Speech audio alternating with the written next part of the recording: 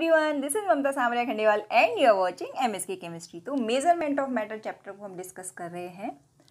Matter की अगर बात होती है तो एलिमेंट कंपाउंड और मिक्सचर की बात ज़रूर होगी। और अगर आपको इनके रिगार्डिंग कोई भी डाउट है तो हमारा M S K chemistry lecture seventy one ज़रूर देखिए। इट इज़ हाईली रिकमेंडेड क्योंकि जब मैटर की बात है तो एलिमेंट कंपाउंड और मिक्सचर के बारे में तो हमें ज़रूर पता होना चाहिए और वो भी उसके रिगार्डिंग कोई भी डाउट नहीं रहना चाहिए। तो आज बात करते हैं एटॉमिक साइज़ की।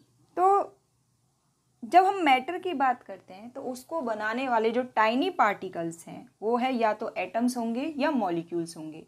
हमने क्या वर्ड यूज़ किया है? टाइनी पार्टिकल्स मतलब ये पार्टिकल साइज़ में कैसे हैं? बहुत ज़्यादा छोटे हैं।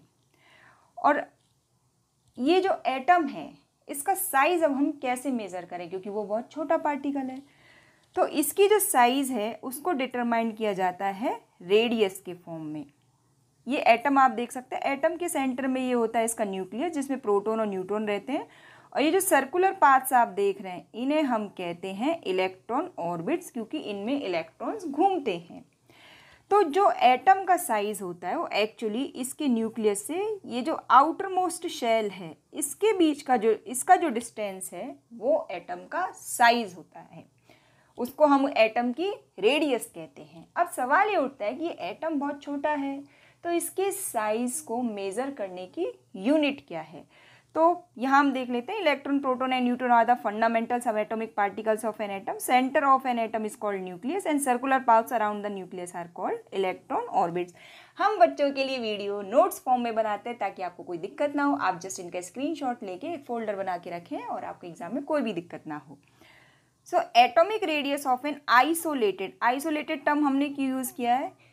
आइसोलेटेड का मतलब होता है when atom is not involve in bonding क्योंकि वो कोवेलेंट और आयनिक बॉन्ड बनाता है। तो यहाँ पे जब आप साइज़ डिस्कस करेंगे तो आप ये मानेंगे कि एटम आइसोलेटेड है और वो बॉन्डिंग में इन्वॉल्व नहीं है। So atomic radius of an isolated atom is the distance between the nucleus of an atom and its outermost orbit तो यहाँ पे ये वाला डिस्टेंस और यहाँ पे ये वाला डिस्टेंस आउटर मोस्ट ऑर्बिट के साथ डिस्टेंस को न्यूक्लियस और आउटर मोस्ट ऑर्बिट के बीच की डिस्टेंस को हमें कंसीडर करना है। So atomic radius is expressed in nanometre nanometre ये टर्म आपको याद रखनी है। अब ये किसकी इक्वल होता है? One metre is equal to ten to the power nine nanometre ये आपको अच्छे से याद रखना है। और ये वन नैनोमीटर किसकी इक्वल हो जाएगा? Ten to the power minus nine metre की। So atomic size depends on the number of electron orbits in the atom जैसे यहाँ पे साइज़ बड़ा होगा एटम का और यहाँ पे साइज़ कैसा होगा? छोटा होगा, क्योंकि ऑर्बिट्स में अंतर है। Greater the number of orbits larger the size तो अब यहाँ पे हम कुछ एग्जाम्पल्स लेते हैं और अप्रोक्सीमेट साइज़ एटम्स और मॉलिक्यूल की यहाँ पे डिस्कस करते हैं। आप हाइड्रोजन एटम देख सकते हैं, ये सबसे छोटा एटम होता है। इसका साइज़ है ten to the power minus ten metre metre में ये ध्यान रखना है, आप इसके आगे क्या लिखेंगे? मीटर ठीक है? अब ये माइनस टेन में है। माइनस टेन का मतलब ये है कि इसका साइज़ छोटा है।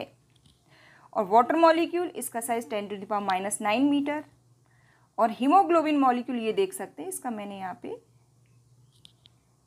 पिक्चर भी पेस्ट किया है। इसका साइज़ है ten to the power minus eight metre तो हीमोग्लोबिन मॉलिक्यूल का साइज़ बड़ा होता है। वाटर मॉलिक्यूल का size ten to the power minus nine metre और हाइड्रोजन एटम का minus ten ten to the power minus ten metre तो size इनका बहुत छोटा होता है। याद कैसे रखेंगे?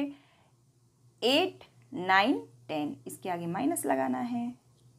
हीमोग्लोबिन मॉलिक्यूल आप ध्यान रख सकते हैं, इसका साइज़ सबसे बड़ा होता है और हाइड्रोजन एटम इसका साइज़ तो स्मॉलेस्ट होगा ही होगा। अब बात करते हैं modern instruments use to measure the size of atom क्योंकि नॉर्मल माइक्रोस्कोप से हम इसका साइज़ मेजर नहीं कर सकते। इसके लिए हाईली सोफिस्टिकेटेड माइक्रोस्कोप की ज़रूरत होती है।